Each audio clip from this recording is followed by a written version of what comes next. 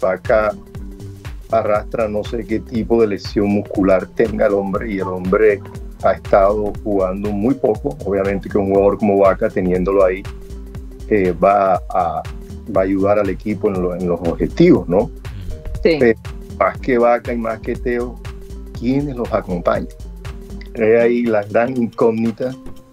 Eh, yo pienso que fue un golpe duro, duro, duro la no llegada del hombre Guzmán, que tampoco había ganado nada, pero yo pienso que es un hombre que sí podía darle un aporte a, al equipo eh, pero no llegó.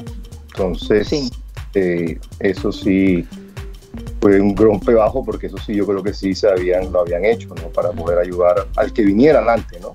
Es el gran problema que nosotros tenemos ahí y el, técnico lo pidió.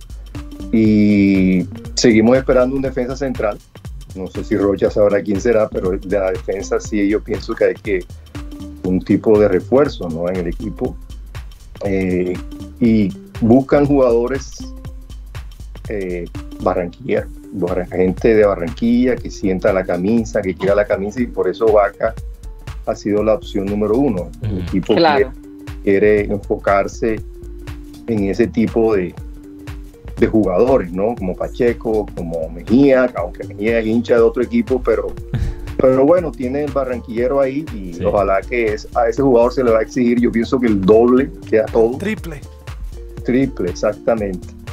Pero el hombre futbolísticamente, y los que lo conocen, pienso que es un jugador muy bueno. Ojalá todavía tenga el mismo nivel. Yo recuerdo Guti y Rocha, no sé si te acuerdas que nos pintaba la cara, ¿no? En Barranquilla. Se hacía el partido aparte. No, no, y además.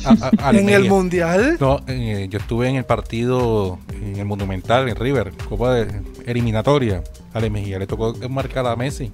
Y le fue, no le fue mal. No, le fue muy bien. Y además Ale Mejía eh, tiene gran confianza o gran amistad con Amaranto Perea. O sea que el hombre, pues, independientemente que sea hincha de otro equipo, él, la va a tirar toda aquí, además por, la confianza que le tiene el técnico. el tema de Mejía será unas declaraciones donde él le preguntan después de una goleada que le mete Nacional a Junior 4 a 0 que si él es hincha de Junior, dice, yo cómo voy a ser hincha de Junior si Junior no me dio la oportunidad a mí. Guti, mm. hay que tener mucho cuidado porque eso no son las palabras exactas que dijo Alex Mejía. Me, voy a referir, a referir al contexto. Yo sé, que, yo sé que le estás dando un resumen, pero le diste una connotación un poco diferente a lo que él está diciendo. como de que estuviera dolido. Resentido. No, no, es lo que dice fue, o sea, como que no no esperen que yo sea hincha de Junior porque a mí no me dieron la oportunidad, aunque yo le voy a Junior con, los equipos internacionales. No, él, dijo, él dijo, yo no le debo nada a un equipo que no me dio la oportunidad. O sea, y él, no le estaba propiamente criticando a Junior, él solo dijo, Nacional me abrió la puerta y aquí estoy, estoy aquí para hacer un trabajo. Soy yo por qué voy a pensar en eso cuando estoy jugando para, otro equipo. Hay que también... Entonces tomaron esas declaraciones y las, las descontextualizaron. Sí. Y por eso ahora le dicen que Ale Mejía debe una notaría y, jurar amor eterno por el Junior. Mientras sea profesional y juegue bien, lo demás es cuento. Profesional y, también para también para aportar el tema eh, para los oyentes que se, también hay, hay Junior hay líderes, ¿no?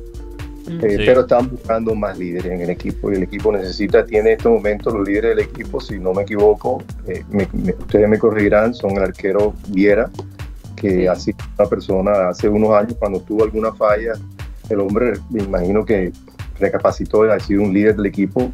Germán Mera, el defensa central, es un líder del equipo. Llegaría Mejía, que va a ser un líder del equipo, entre comillas, o sea, no ha jugado. Y Vaca o Borja, ¿no? Eh, yo pienso que va por el más lado de Vaca. Vaca es barranquillero, quiere la camisa, quiere la ciudad, quiere jugar en Barranquilla. Sí. Ya lleva mucho tiempo, yo no recuerdo cuándo se fue él, pero, pero ya hace un tiempecito largo está ha estado por fuera. 2011. Y, 2011 se fue para allá. Para, Imagínate, eso iba a decir yo hace por lo menos 10 años, sí. 10 años. Ya, ya, yo pienso que Vaca tiene una cuenta de ahorro buena con sus euros, ¿verdad?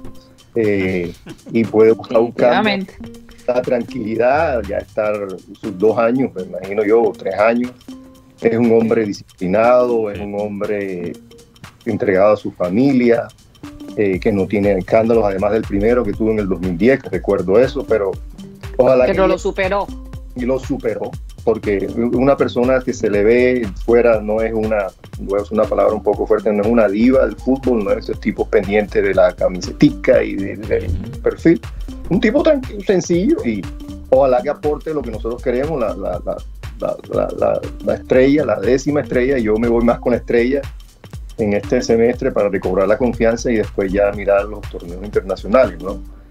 Pero yo creo que yo creo Tony, si llega Vaca y si se queda Teo, y entiendo la preocupación tuya y de muchos sobre la salud de esos dos. La condición. La condición. Pero para mí esos dos hay que guardarlos si, si es esa la dupla que nos toca, guardarlos para, para la Sudamericana. Y yo creo que si analizas los fichajes, Walmer Pacheco, Alex Mejía, Sebastián Herrera, esos son jugadores para jugar en la liga.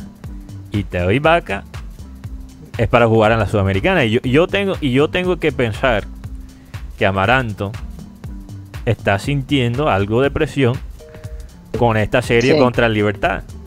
Porque ya, ya yo entiendo, yo entiendo completamente, y tú sabes, Tony, compañero, que yo lo he dicho, es importante la paciencia porque de los fracasos se puede, se puede aprender mucho. Mira, mira que los mejores técnicos del mundo, que han tenido periodos con mucho éxito, donde sea, Europa, Sudamérica, empezaron primero fracasando, entre, entre comillas, para después construir algo a largo plazo. Quizás esa es la meta del club con, con Amaranto Perea, no sé. Pero también del otro lado, si estamos hablando de, de lo que nos toca contra Libertad.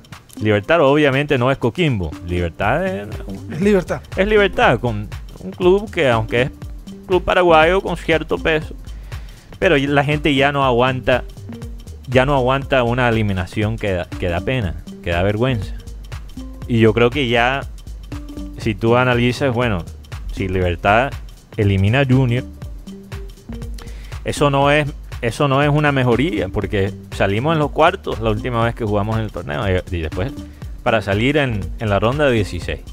Entonces yo, yo creo que Amaranto quizás está pensando en dos equipos, uno para la liga y uno y otro para la copa. Y otra para la copa.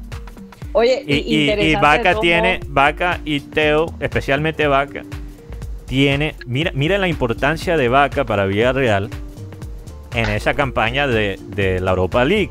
Sin ser titular, confiaron en él para la final, porque él conoce el camino, él sabe cómo jugar en esos torneos de, eliminación, de esos torneos continentales.